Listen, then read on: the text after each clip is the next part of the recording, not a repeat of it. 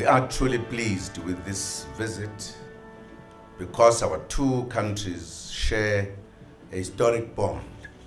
Since 1994, South Africa and the Netherlands have forged a solid partnership that transcends many fields, including economic, education, agriculture, trade, science and technology, multilateral and culture, to mention but a few.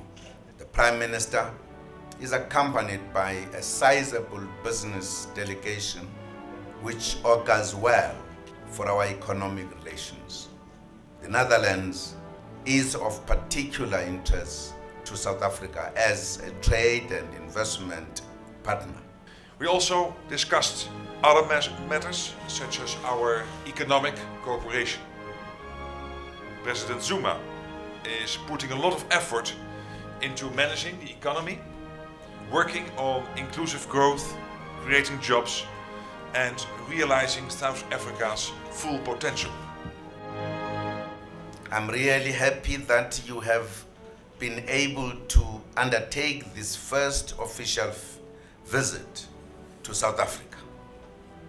I look forward to enhanced relations between our two countries, building on the rich history and our common beliefs in democracy, freedom, human rights, equality, and other values that make the world a better place.